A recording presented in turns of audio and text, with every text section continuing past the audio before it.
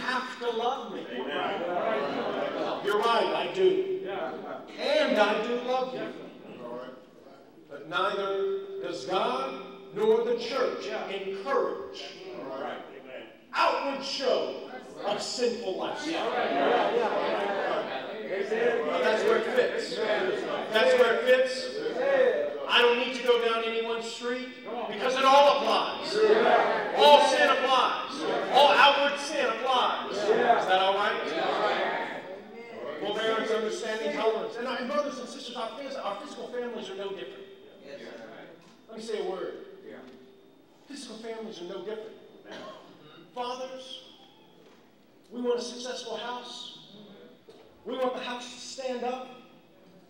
We're going to have to exercise some humility. Yeah, We're going to have to understand that we need to have a lower self view of ourselves. Yeah, right. We're going to need to be gentle yeah. with our wives. Yeah. She, we are not the general, and she is not the truth. All right. All right. All right. And she walks to the beat of my drum. That's foolishness. Get your pillow and your blanket and enjoy the couch. But I'm right. I was right. She better get in line. There I go to the couch. Save that.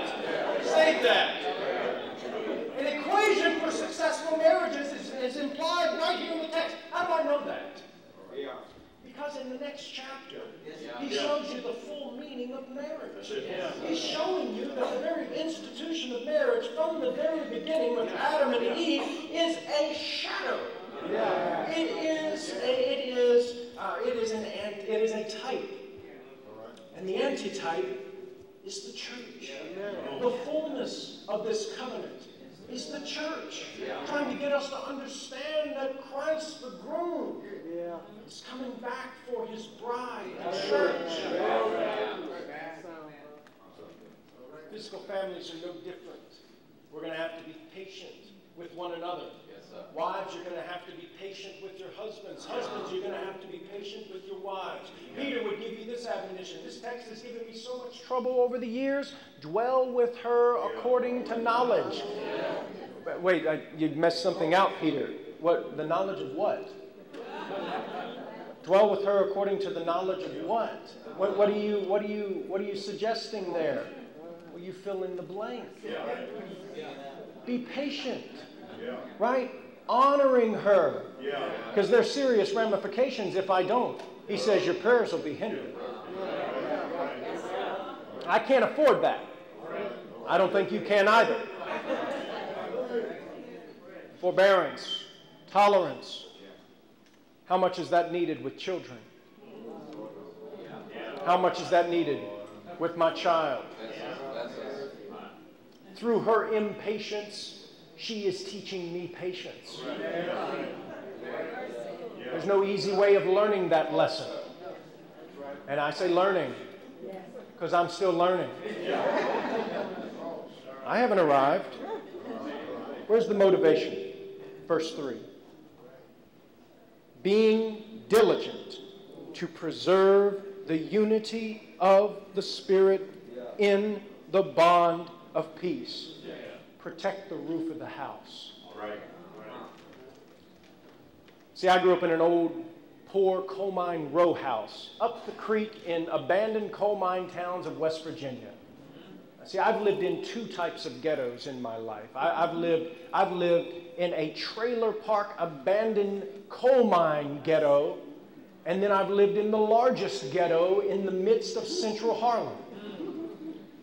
They are no different the challenges and sinful behaviors are just the same. There was racism where I grew up. There was racism where I moved to as a young man. What is yet the answer? Christ. What is yet the answer? The church. Hold up the roof of the house, which points in one direction, upward endeavoring to keep the unity of the Spirit in the bond of peace. Uh, I need to say a little bit more about that, but I know my time is fleeting, and therefore I need to talk about some staples that are going to keep the roof together. Oh. Twice does Paul use this notion of unity, and it's here right in the same context. It doesn't vary, and it does, and we don't see notions far beyond this. He's using it twice in the same context. First, he says, endeavoring to keep the unity of the Spirit in the bond of peace. If I can take some liberty and jump out of my text and jump to verse number 11, he's, uh, uh, first I need, to, I need to stop at verse 8 because he says, Therefore, it says, when he ascended on high, he led captive a host of captives, and he gave gifts to men. Notice the Bible does not say he gave men gifts. Oh, I'm not straining at words here. I believe that's the direct implication of the text. He gave gifts unto men. Uh, we can take the time from verses 9 to 11 to talk about the ascension and how he descended. Yes, thank you, Paul, and I, and I apologize if I'm running over that, but I need to get to verse number 11 to talk about the gifts that were given. Brothers, you cannot be given a, a, gift to be an apostle. No, no, that's, that's not a gift that you receive. That's not a gift that I have to contribute. Yet, these gifts were the apostles. These gifts were prophets. Listen to my part of speech. We know they were because the Bible tells us that it was a limited position. From the basis of the apostles in Acts chapter 1, the ending thereof is the qualifications. No one's going to meet that today. By means of prophecy, I don't want to hear jargon about we're still forthtelling and no one's foretelling. Just call yourself a preacher.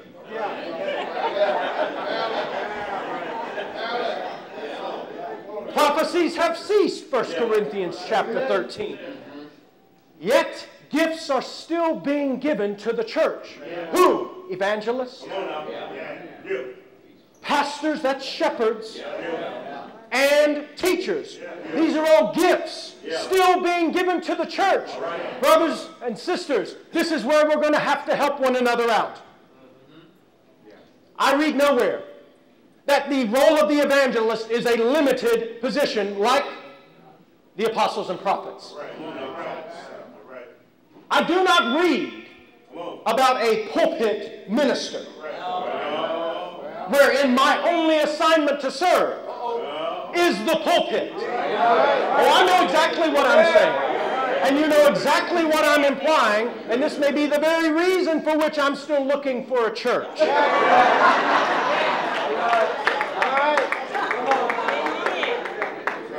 The role of the evangelist is not a limited commission.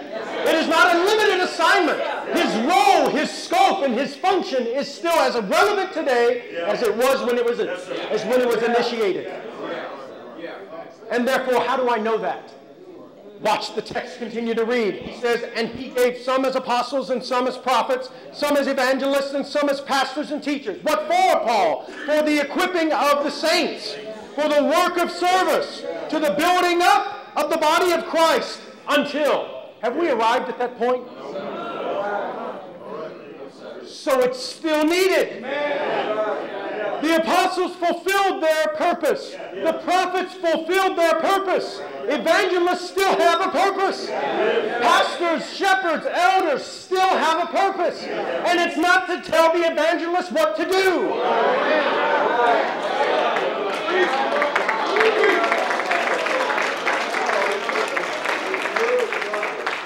Not the primary purpose.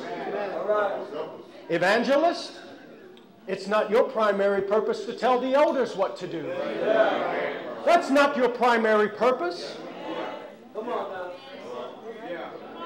I'll just let that set. And I'll meet anyone at the back door that wants to ask me about that. I'm ready to do, I'm, I, don't, I don't preach a doctrine that cannot withstand interrogation. You should neither. He says, until we all attain to the unity of the faith and of the knowledge of the Son of God, to a mature man, to the measure of the stature which belongs to the fullness of Christ. We have not arrived there. Therefore, we are still striving for the unity of the Spirit in the bond of peace. We are still striving to maintain the unity of the faith. That's the body of truth. That's what you believe. That's not your belief. The faith is what you believe. And it was once for all time delivered unto the saints. 4 through 6, back in Ephesians 4 4 through 6, our unity, brothers and sisters, is going to start with what we believe. You need to be clear about that. Our unity starts with what we believe. Are you convicted? Are you believing that there is one body? Not in concept. Not in concept. Do you believe that there is one body? And that we're not to operate like Abraham and Lot. You go your way, and I go my way. One body. If I don't get to say anything more, let me drop this on you. 1 Peter chapter 2 and verse number 9. Peter says that you're a royal priesthood, chosen generation. I have a problem with that word generation. I understand it's in the King James. I understand that, that it may be of accuracy to some degree in translation, but it does not fit the notion that Peter is trying to put forth. To say generation, it implies a group of people born in a particular time. Yet the literal translation, are you listening? He says you are a royal priesthood, you are a chosen race.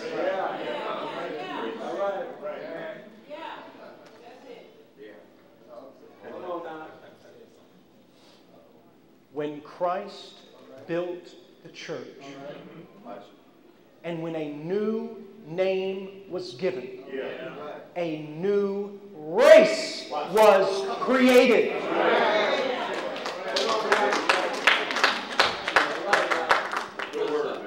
No longer, and, and listen to me, listen to me. God has told us for centuries that He does not see the face of man, that He looks to the heart of man. I believe this notion is put here for us to help us understand that we are now one more for us than for God. Because God has never looked at the face of man, He's always looked at the heart. This is for us. To know that Christians, God sees us as one race. No more black, no more white, no more red, no more yellow. Nothing. Save that. Save that. Save that.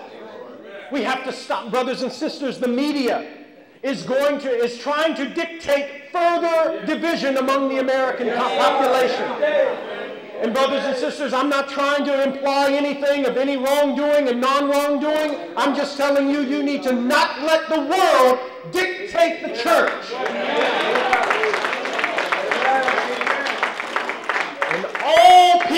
Fall into sin. But we cannot allow any form of, of racism and disunity in our country dictate the unity of the church. Now, I speak boldly to you because I'm strongly convinced that the church can impact the world.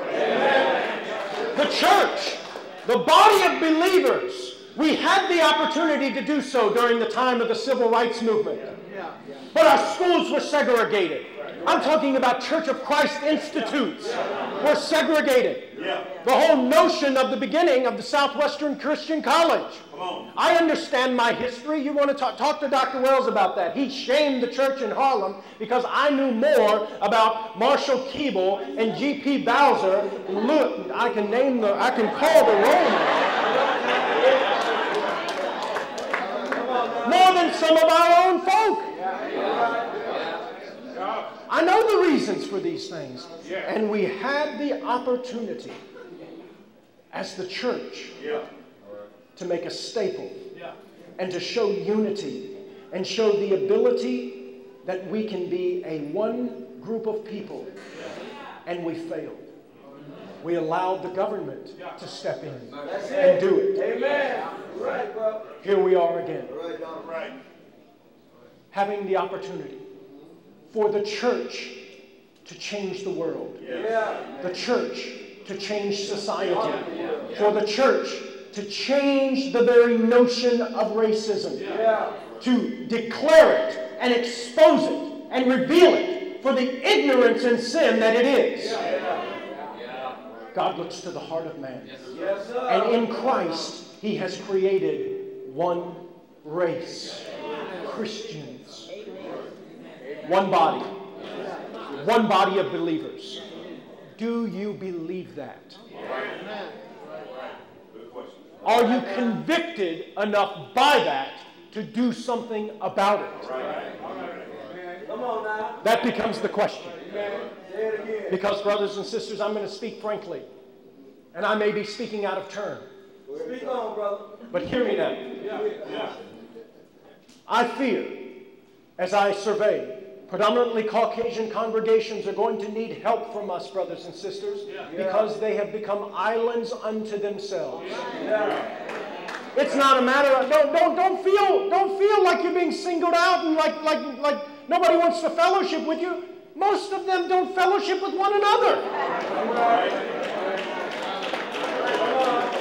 Islands. Islands unto themselves. Foolishness. Foolishness. We have taken the notion of autonomy and stretched it and bound it on things that God never intended. We're going to.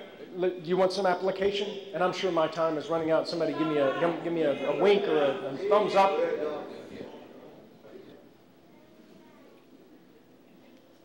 The application is, brothers and sisters, while some of these congregations may have ignored your invitations, may have ignored your request of participation, keep inviting them. Amen. That's what God. Keep reaching out. Listen to me. Listen to me. I'm speaking from the depths of my soul here. Amen. Evangelists, elders, you're going to have to reach out and try to make relationships it. That's what God. And vice versa. I'm doing what I can, where I can, and when I can.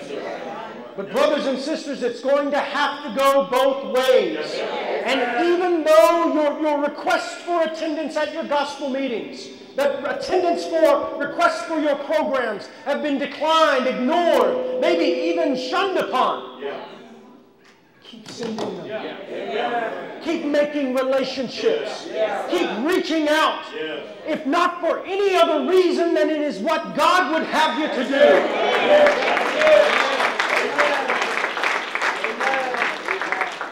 We need each other.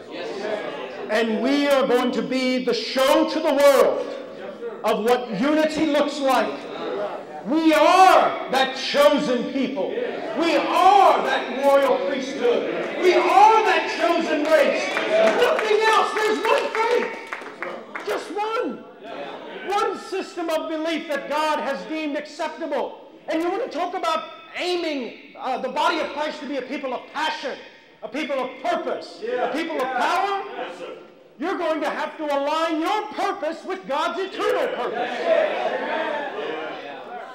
This is where this is this this is where I'll come to a conclusion. In Ephesians chapter 1 and verse number 10.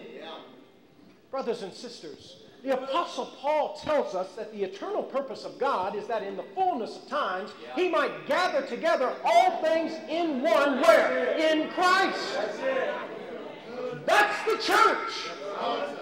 That's who's going to heaven. Amen. That's right. That's exactly right. That's the final roundup of human affairs. He's talking about the calling together of both those things that are on earth and those things in the earth. For we shall not all sleep, but we shall all be changed. This is going to occur in the church. Do you believe that? Are you convicted enough to do something about it? Because this is what I find. And we could go on. I could talk to you about the other six ones. That there is not only one spirit, but one hope of your calling. See, we have the same hope of our calling. We all have the same hope of heaven. I don't, I don't plan on being in a white heaven. Don't want to be. Do you plan on being in just an Afro-American heaven? No, sir. Come on, bro. One hope of our calling. Oh, I want to see him. Look upon his face. That's the hope that I have. Is it the same hope that you have? Family ties will keep us built up together. I could, I could talk to you a little bit, bit more about one Lord, one faith, one baptism, one God and Father of all, who is above all, through all, and in you all. But I need to tell you this before I have my seat. Family ties, trusses, humility, gentleness, patience, forbearance will keep us built together, but strongholds will continue to divide us. Yeah. Yeah. Amen. And I leave you with these words from the Apostle Paul in 2 Corinthians chapter 10, verses 3 through 5. For though we walk in the flesh, we do not war according to the flesh. For the weapons of our warfare are not of the flesh, but divinely powerful for the destruction of fortresses. That's strongholds, brothers and sisters. Culture and thinking that there is salvation in culture is a stronghold that will continue to divide. Strongholds of racism will continue to divide. Strongholds of economic classism will continue to divide. You sound like a communist, Brother Ballard. Save that mess.